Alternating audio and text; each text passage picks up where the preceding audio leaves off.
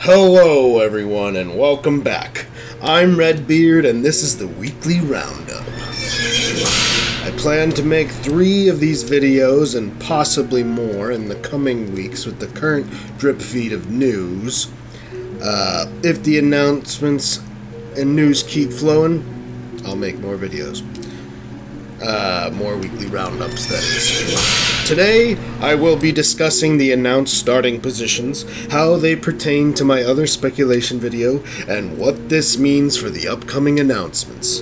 At the end, I will briefly discuss the new dedicated faction's unique mechanics, which are being announced Tuesday on Tuesday Newsday. Some of you may see this video after that time, so you may or may not want to skip uh, when you get to that part of the video. Though I will say there might still be some good nuggets in there anyway. Nonetheless, I will try making timestamps so you can jump around as you please. Since my last video, I had been away on business for over a week, so I'm just getting back. Otherwise, I would have dropped another video by now. Crunch time is back on, as I have a string of videos to make after this one, so here we go again. Buckle up for safety, biznatches. I will now go through race by race in order of announcement, and after that I will discuss uh, how it changes uh, the lords that have not been announced, um, pertaining to my original predictions and the image that was just shown. Um, so, I am going to start with Bretonnia since they were just announced today, though. And guess what? I called the absolute fucking shit out of that shit. Alberic is in the Piranha Swamps, just as I had predicted. Booyah, baby! My powers of deduction are unparalleled.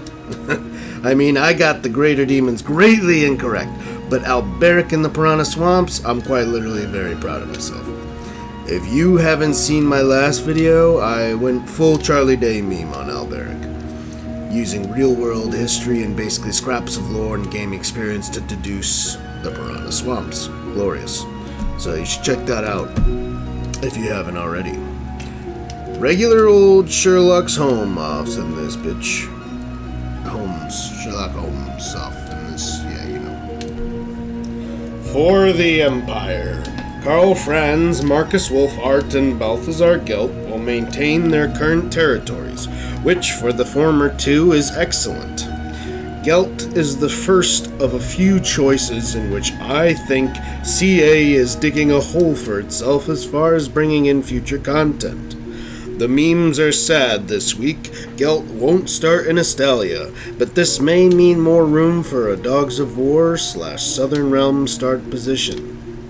As I stated in my previous video, I think the top candidates for Empire Lords in DLC or FLC content, besides Todbringer, are Marius Leitdorf and Elspeth von Draken, who would start in Averland and Wissenland respectively.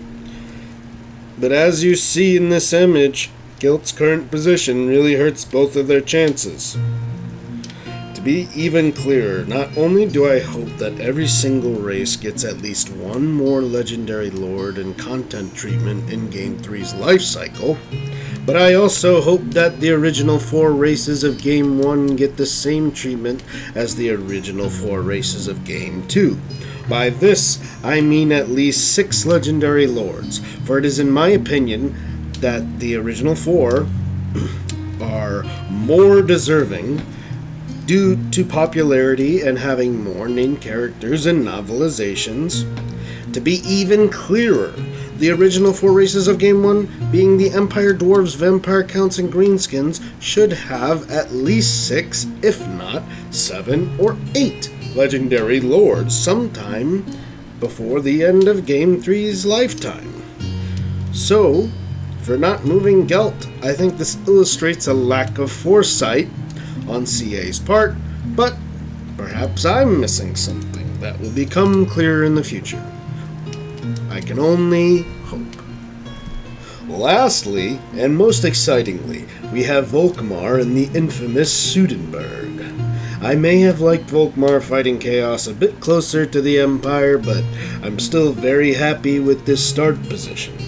The only other issue is, as it seems of the moment, of this writing is that CA may be creating a Lustria Bowl situation over in the Southlands, which could be problematic for several reasons I may detail more later. for now, more on why I like this position, for Volkmar at least. There is some lore on Volkmar in the end times fighting the undead, uh, if not less than chaos, around Nehekhara. His mechanic on finding dark artifacts works well here, which I will talk about more later in the dedicated faction mechanics section of the video. For now, the last thing I'll say is that moving to the Southlands helps free up the Empire for future content. So, the Southlands Thunderdome grows. Now, everybody from the 313, put your motherfucking hands in the air for the DOC. That's right, we are talking about Daemons of Chaos. Be'lakor is the only missing DOC Lord from the starting position announcement.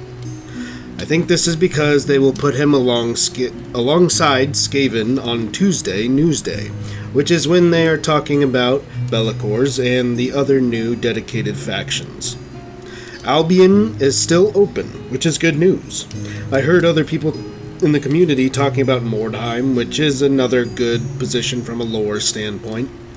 But I hope they only make this move if they are planning to bring Mona Mim or another Famir Lord like Raka, both originating from Warhammer Fantasy Roleplay, uh, the former being new, and the latter from a 1995 module.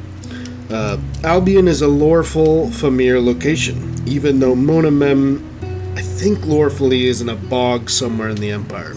Again, she's new. I'm, I don't, I don't have the um, supplement to read through uh, what she is contained within.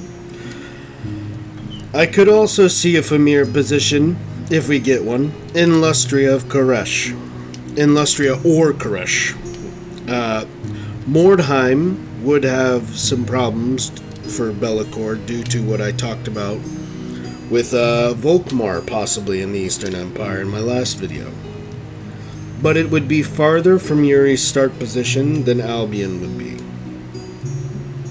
For Yuri, the Demon Prince, he starts in the Forests of Decay settlement in the Eternal Lagoon province with the tagline in the blog that, quote, allows him to compete for the ultimate leadership of chaos, which may just refer to the central location in the northern chaos wastes, but I think may be a hint that my prediction from the last video may come true in that Archaon may start close by, uh, close by in the northern wastes province. Either way, this frees up Norsca for the Champions DLC moves him further from where Be'lakor ends up, and keeps him somewhat close to his loreful, loreful birthplace of Kislev, especially with the Red Tsar close by now. They can have a nice rivalry. No surprise from N'Kari. We knew from data mining that N'Kari was moving to Crais, and this being probably the only greater demon move that I'm truly happy with. The other three greater demon positions largely were surprising to the community. I would have thought greater and eventually lesser demon starting positions would have largely been consolidated to the Chaos Wastes, where they would be strongest, and saving other Chaos and mono Monogod starting positions for the mortal champions, Chaos Spawns, or Demon Princes. But apparently myself and the community were woefully incorrect in that path of thought. For Kairos, I know of no lore pitting him at the southern tip of Lustria. It is also right next to the southern Chaos Wastes, and from a gameplay perspective, the Fortress of Dawn is interesting, but who's going to pressure the Great Bastion now?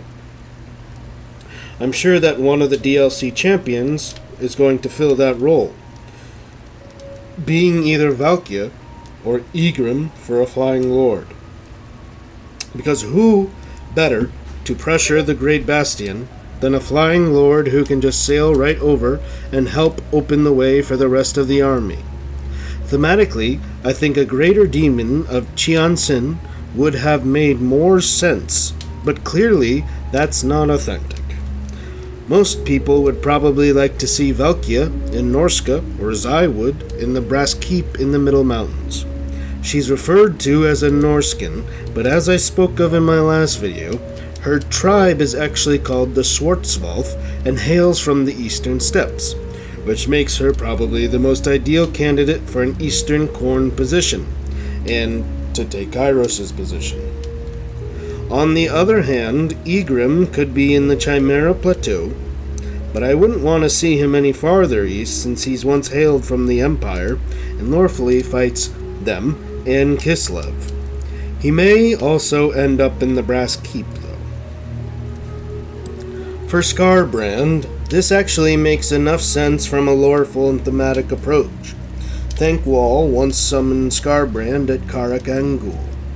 Angkul? I don't know. Which is nearby, and Death Gorge is a ritualistic greenskin battleground, which is the settlement he will start in. Uh, this means a lot of blood and skulls, because Khorne does not care where either of those come from as long as it's happening. The issues, though, are major and twofold. Firstly, being I feel like this decision lacks the foresight of future content positions, mainly for greenskins and vampire counts in the Badlands, but also that any lords with a position near here are going to be hard pressed to deal with Skarbrand early on. Eltharion and Settra will be neighbors, Queek and Manfred might be possible neighbors, Thorek, Wurzag, Grimgor, Khalida, or Arkhan may start close as well. I don't think any of them will be able to handle Skarbrand early game. And with Skarbrand's mechanics, he will be doing a lot of moving around. What I hope is that maybe they have a similar me- similar mechanic to Nakai the uh, the Wanderer in Warhammer 2, where the player started in Albion, but the AI started in Lustria. Perhaps it could be similar here, that the player starts in the Badlands as Skarbrand, but the AI starts in the Chaos Wastes. Uh, if that were the case, then I would very much like this position, but otherwise, as I said, I think it's problematic. Um, also, was toying around with the idea that maybe greater demons only appear in late game uh, incursions um, when controlled by the AI. I think that would make some of these positions uh, maybe more manageable.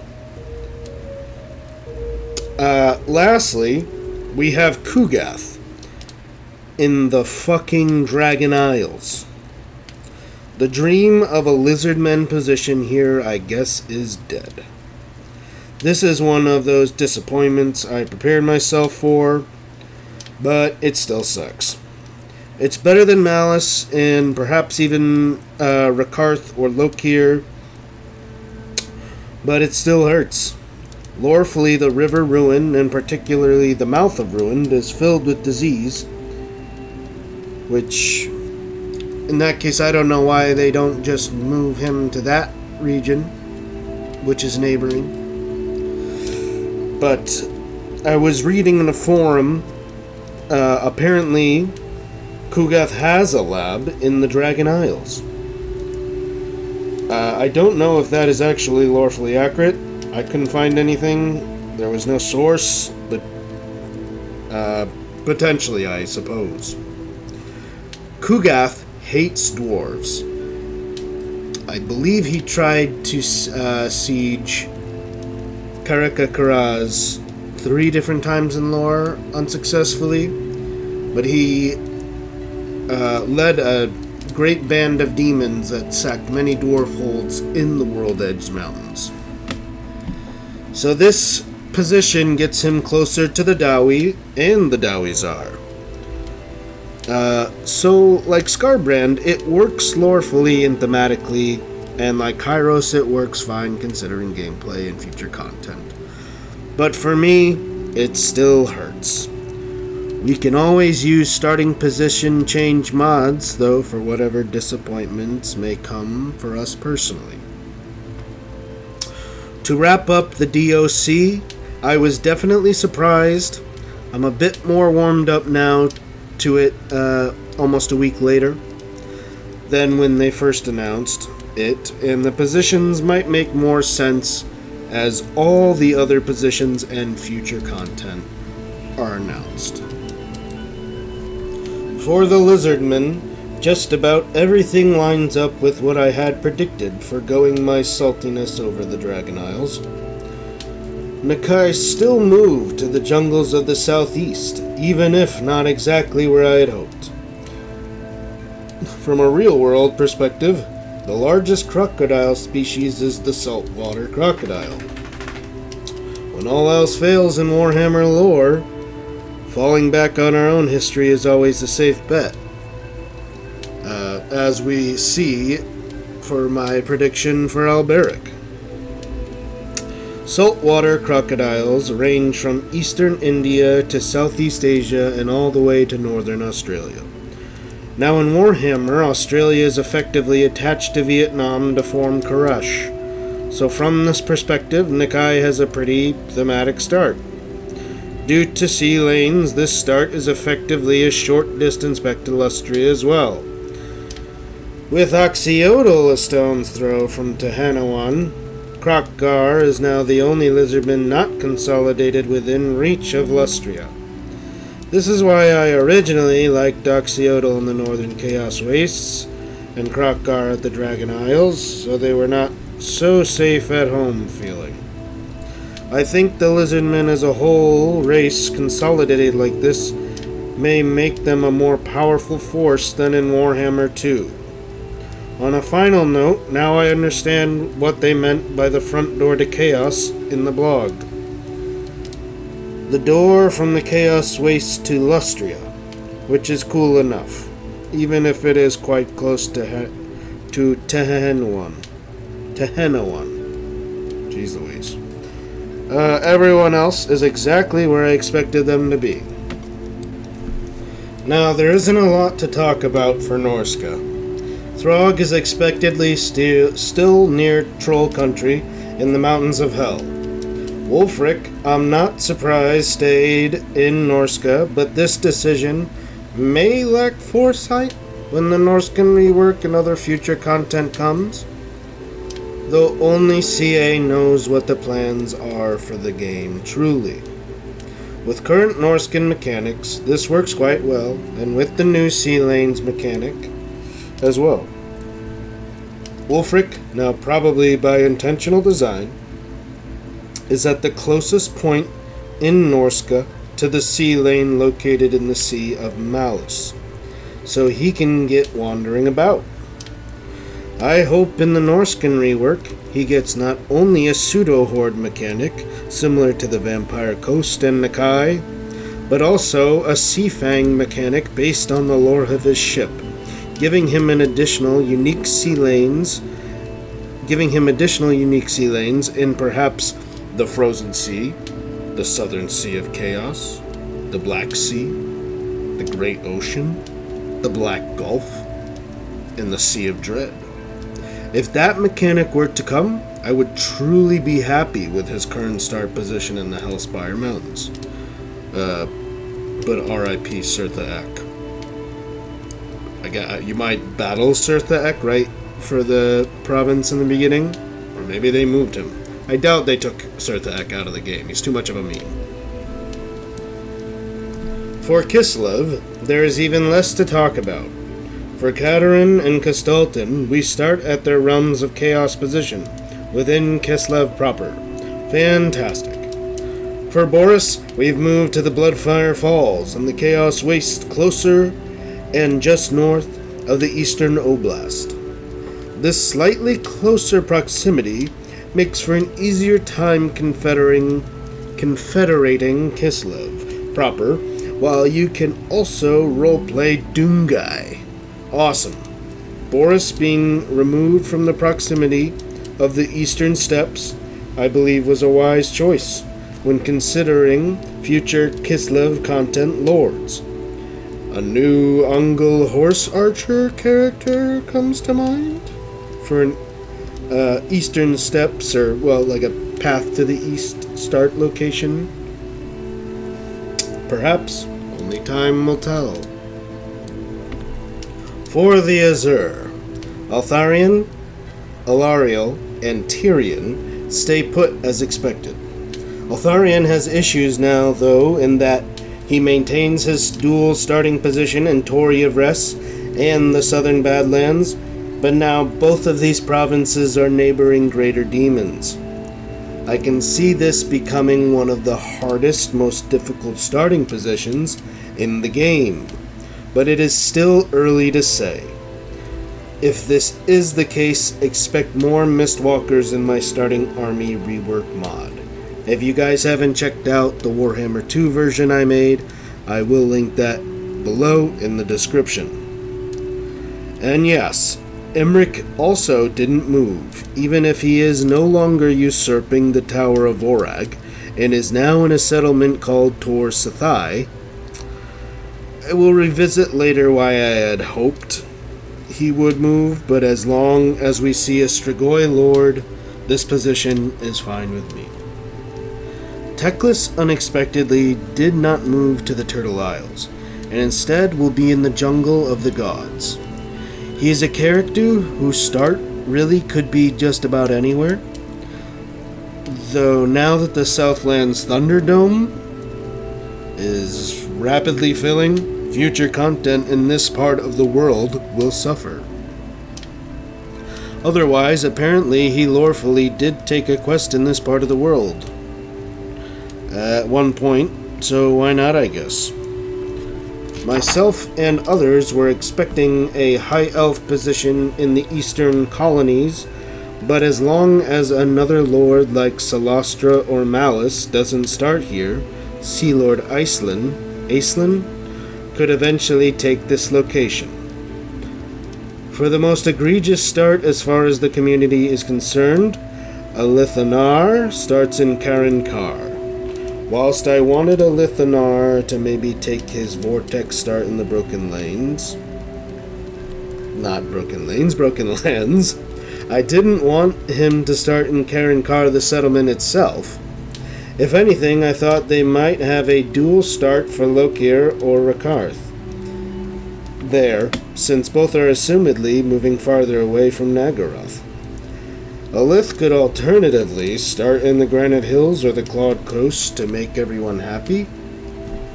Um, but I also think that these positions, the way they are announced, I think they may be final. It would be nice if they were still a little bit flexible to change before the uh, Immortal Empires launch, but um, I suspect not. So now for the races that have yet to be announced, I will go one by one in the the order that they are going to be announced. Cathay is tomorrow, so by the time you see this video, I mean I'm sure they are in the realm their realms of chaos starting positions. It would be weird to move them anywhere else.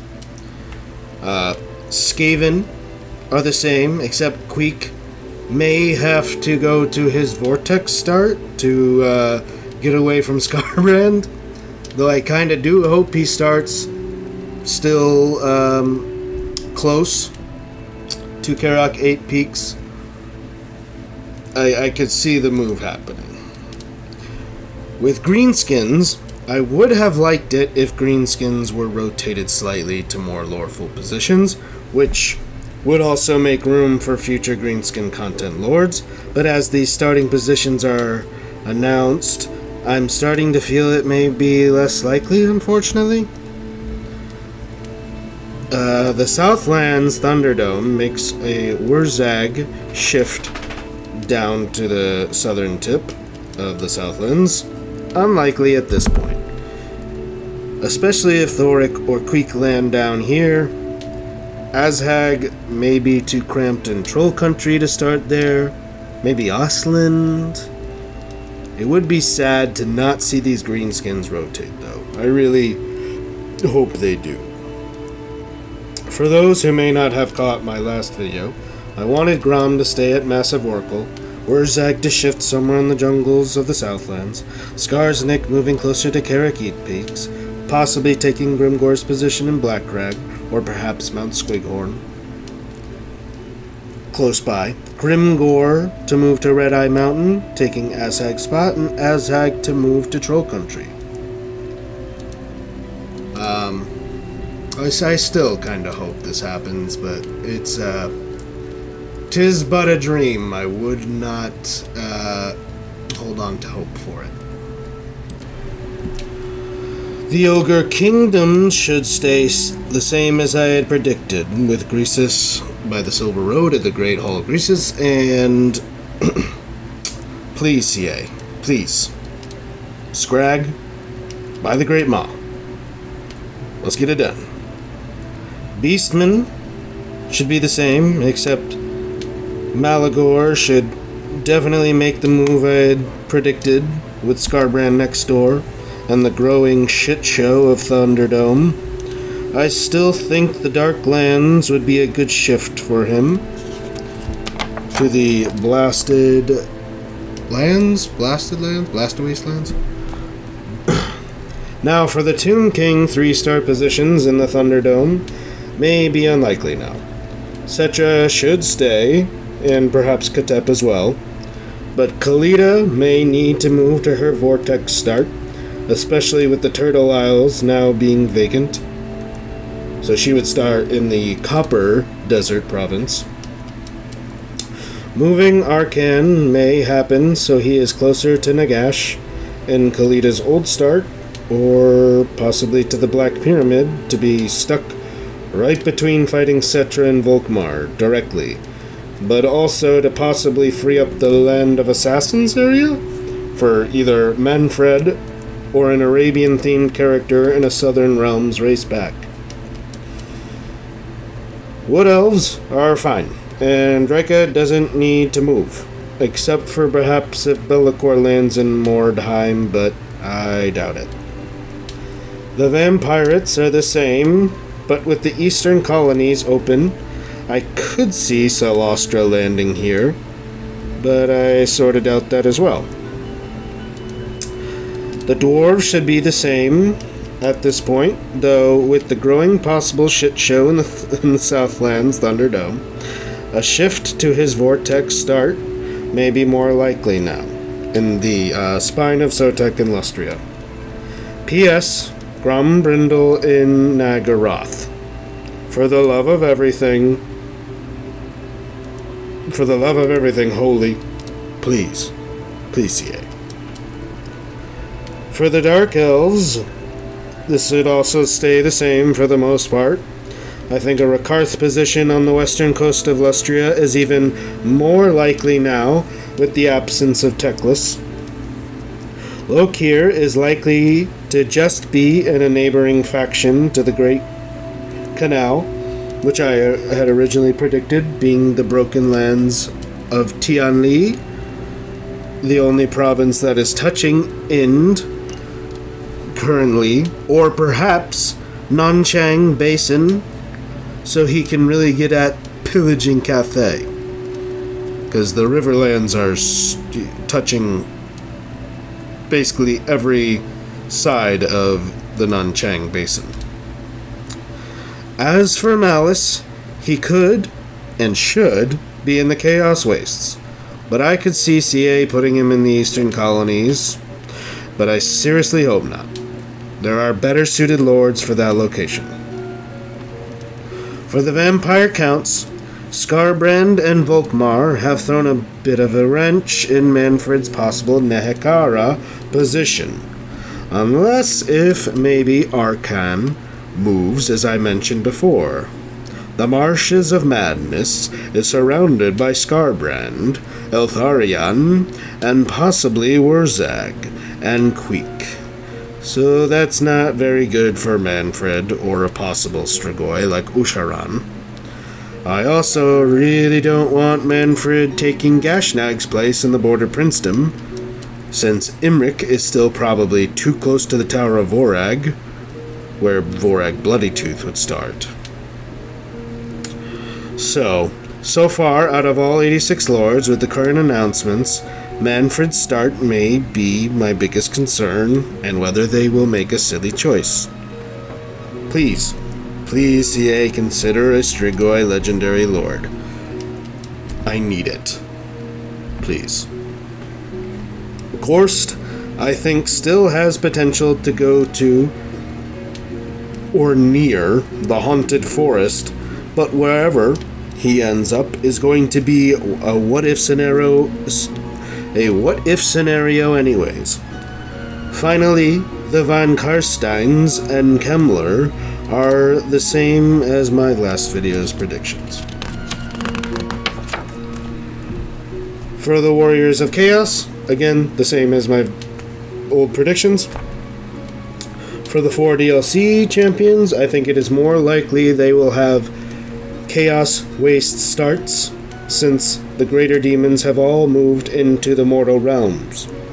I expect any of them to start in the Middle Mountains. Valkia or a village in the eastern steppes, near the Great Bastion. Maybe Von Horstmann in the Chimera Plateau.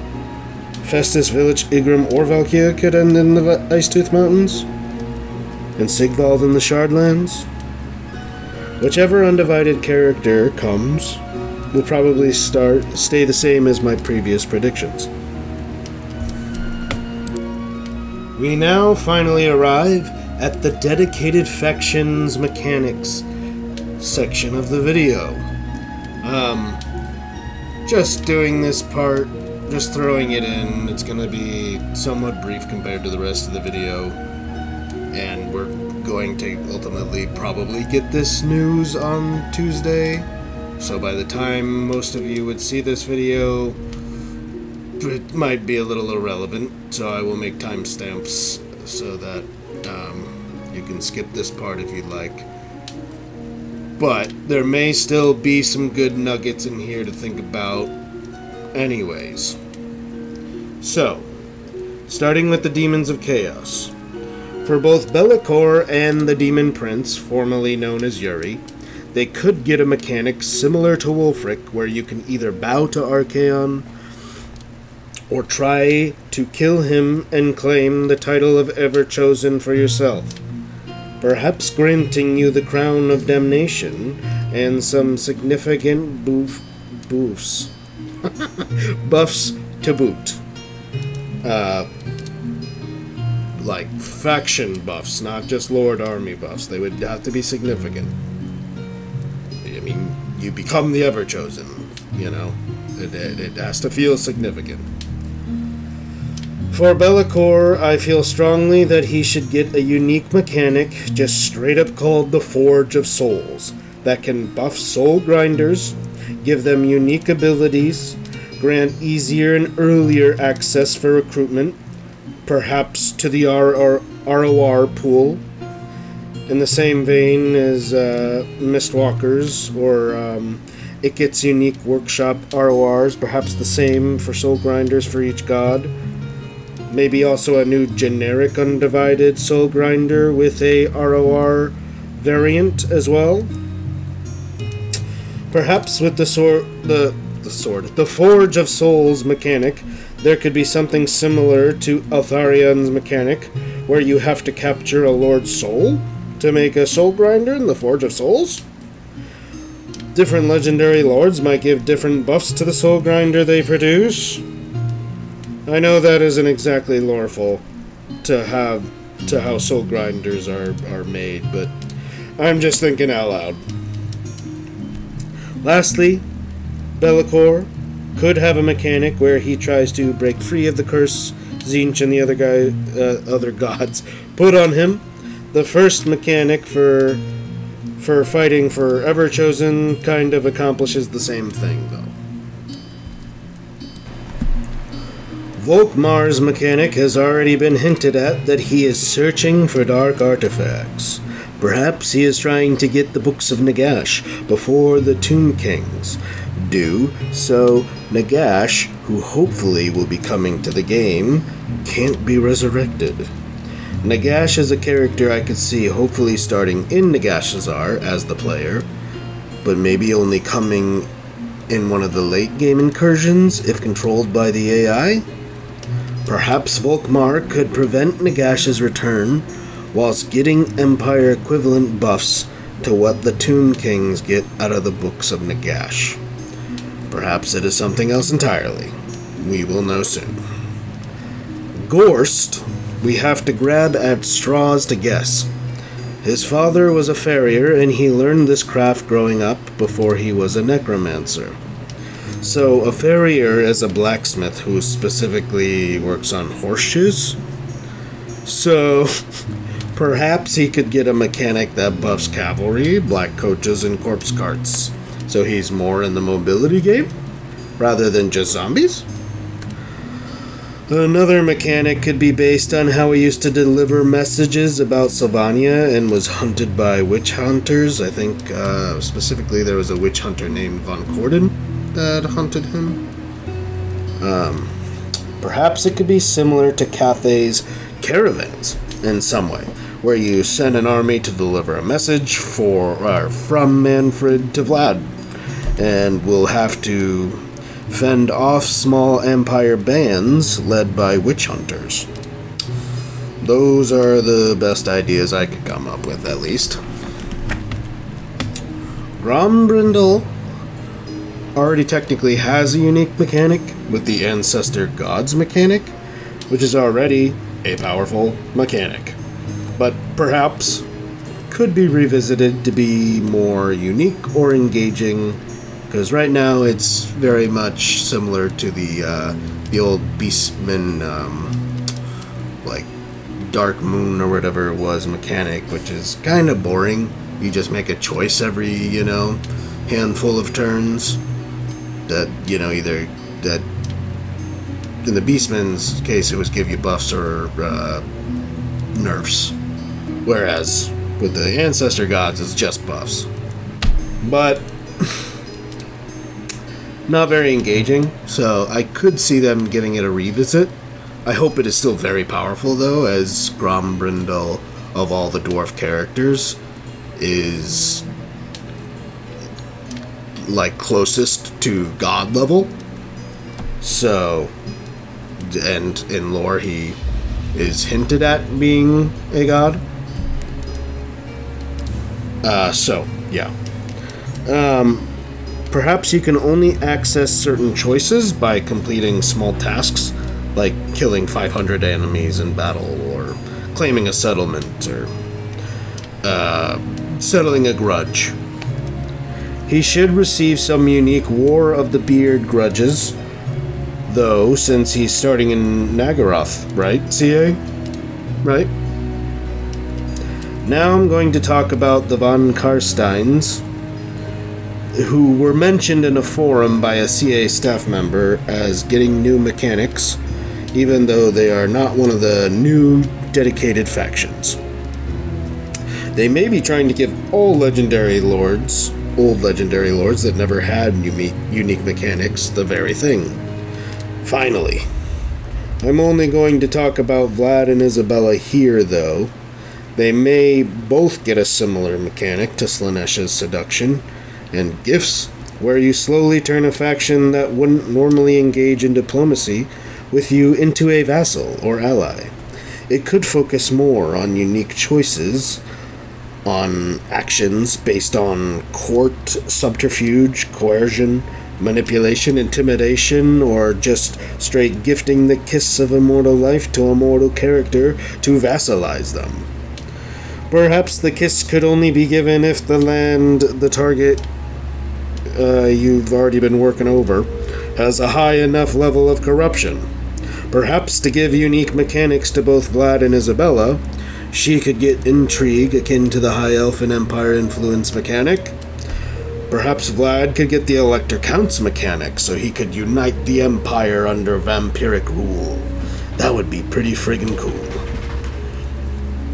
Both could receive additional Empire or Sylvanian units in the von Carstein bloodline, including archers, huntsmen, free company militia, pistoliers, outriders, and maybe even artillery like mortars or cannons.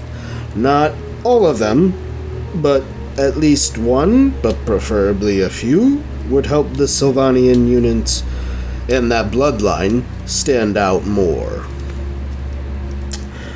I don't expect to see Boris in the Red Duke at IE launch, but in case of a surprise, I think uh, Boris Todbringer, I'm talking about Todbringer, should get a mechanic involving the cult of Ulric, and the Red Duke should get a corrupted vampiric form of the Bretonnian vows. So, to wrap out this video, I want to say we all have to be ready for a fairly equal dose of excitement and disappointment. My original predictions in the first video centered on what made the most sense to me and what would ideally make me happy. Yes, I considered lore, theme, gameplay, proximity, and difficulty, and part of me feels CA did not put in as much consideration, um, just like with the starting armies and how I changed them for my starting army rework. But they're they're a big comp, you know. There's you know all checks and balances that need to happen, a bunch of different people with different ideas, boards that have to check off on things. So I understand that it can be. Um, not everybody gets to, you know, in you know, really see out the dream that they all personally have. So we all have to find a nice middle ground, and I think that's what CA is trying to do. Maybe it will all make more sense to me in the end as well. Uh, it's anyone's guess at this point. Anyway, as I said about not being sure if they are going to detail out all previous lords who didn't have unique mechanics, or just the new dedicated factions, uh, we will find out Tuesday, at which time I will either continue making a 4 champion DLC prediction video, or a unique mechanics for Old Lords video. Your move, CA. Anyways, hope you guys enjoyed the video. The response to the last video was extremely invigorating. I have many more ideas for videos and speculation and would love to get to a point where this channel could become at least a part-time job.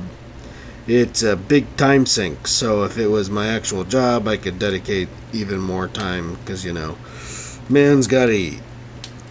I love making these, so if you also want me to continue, your and support is uh, vastly appreciated and certainly is noticed. Much love and good health to you. Have a good day, everyone.